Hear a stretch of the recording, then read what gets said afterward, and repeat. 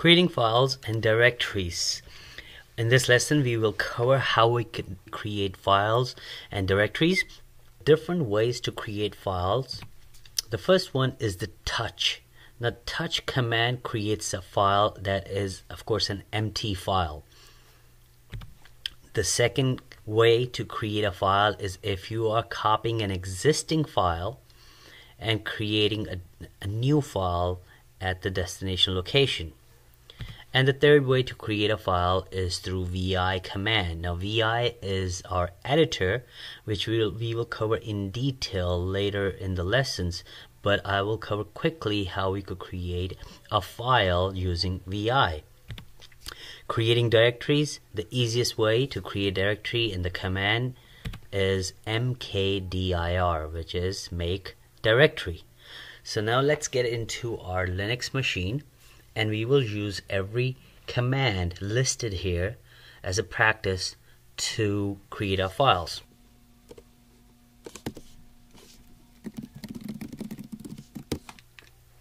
Okay, the first thing we have to do is to find out what user ID we are logged in as. So you do who am I and will tell you you are logged in as yourself.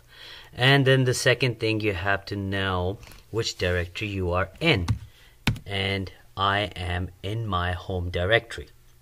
Now I, have, I will be creating uh, a few files and as your homework I want you to create those files and directories as well. The first way um, to create a file, here's here I have a list of files that I will be creating.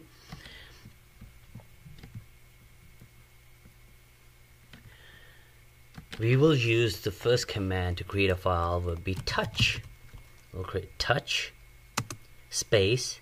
I have here Jerry. Hit enter. When you hit enter and you get the prompt back that means your command worked. Now how do we know where is that file? You do ls minus l and you'll see here the directory you have is right here. Jerry. Sorry the not the directory the file now I want you to create another file. Touch Kramer. Again, check if it's created. Yes, it is created. Jerry and Kramer. Now I use the option ls minus l which will list all the files and the directories in an alphabetical order. Now if you wanted to list all the files or directories that are created at um, when it was last modified you will use ls minus LTR, which means give you everything by the timely order and in reverse, meaning the oldest one at the top and the newest one at the bottom. When you hit enter, you'll see Jerry was the first one that was created, followed by the Kramer. Next one we are creating is George. How do you verify that file was created? You do ls l. Now these files can be changed or renamed or moved, but we'll go to the next uh, set of files to create. Uh, I want you to use this time the copy command. So I want you to use copy Jerry and then the destination file I want you to be Lex do ls minus ltr so what exactly it did it copied this jerry file and named it lex. I want you to do the same thing for Clark. So copy Jerry or Kramer or whichever file and do Clark. Same thing copy Jerry and Lois now let's verify we have all those files. There you go, we got all six files. So now three files we created with touch command, three files we created with the uh, copy command, and the rest of the files we'll create using VI. Now remember VI is a very tricky, so I will only create one file and we will cover the VI later. So VI space Homer. So hit enter once you hit enter, it will bring you to file editor. Now be very careful what you type in here because you will not be able to get out if you really don't know what you are doing.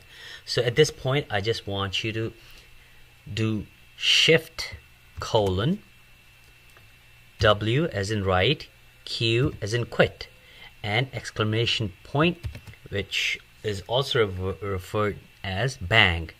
Hit enter. The file homer is created. How do we verify it? Let's do ls minus ltr, and there you go. The homer file is created. Now the other three files um, I will create by the touch command. Now you will notice you don't have to run touch command over and over again. You could run the touch command just once and do Bart space Lisa space marg marge. So now with this just one command it will create three files. So hit enter. Verified. All three files Bart, Marge, Lisa, all of them are in this directory.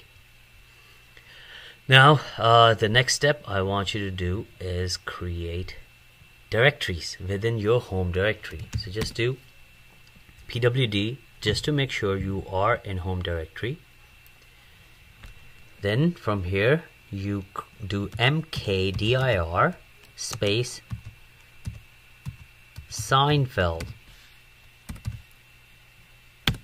Now the directory is created because you got you got your prompt back. How do you verify it? ls minus ltr, and you see at the bottom that's where the directory is created. And if you notice, uh, some of the Linux distributions also change the color for you, so this way it will be easier for you to identify which one is the file or which one is a directory.